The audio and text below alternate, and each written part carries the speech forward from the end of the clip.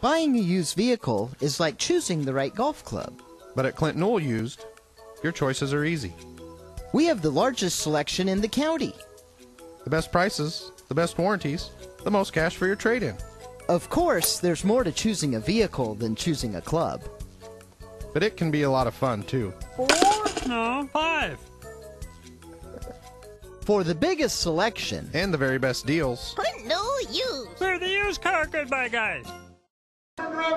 The boys basketball team at South Umpqua High School is focused in as three senior leaders get the team ready for the season.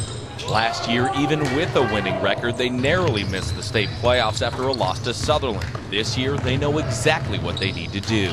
Last year, our defense wasn't really into play. That's what we need to worry about right now. Because, like Coach says, he can put anyone he can on the floor and they're going to score. But what we need is defense, and that needs to be our key part of our game. For the other senior starters, the key to winning is their ability to work together and reduce mistakes. We just can't be selfish. We gotta, we just gotta just be play as a team, you know. Work on a lot more ball control, not turning it over. The Lancers have the speed to keep teams on their toes, and even though they lost some height underneath, Aliff will be fighting for every rebound down low.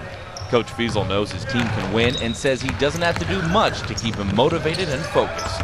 Probably one of the main strengths is this is a group of kids that uh, really likes one another and get along with each other. Um, probably one of the harder working groups that I've had since I've been here. The Far West League will be tough again this year, but their ability to score will give the Lancers a good shot at making the playoffs. For KPIC Sports, I'm Glenn Beebe.